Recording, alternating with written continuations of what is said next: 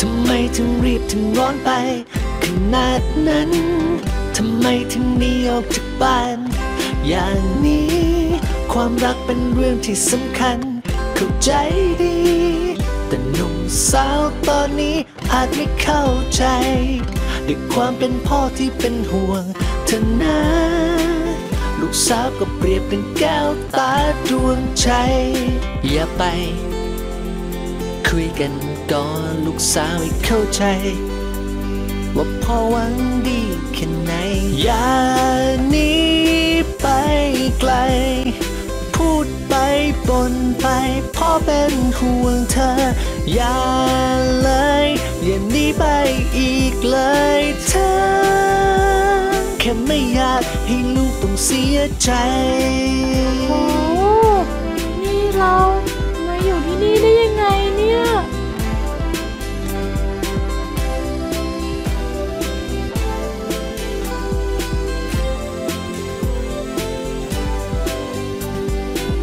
ทำไมถึงรีบถึงร้อนไป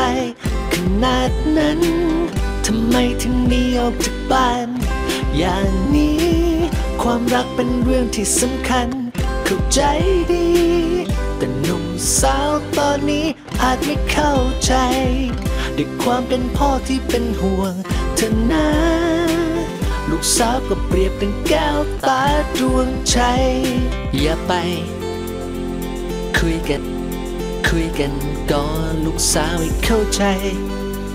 ว่าพ่อหวังดีแค่ไหน อย่าหนีไปไกล พูดไปบนไปพ่อเป็นห่วงเธอ อย่า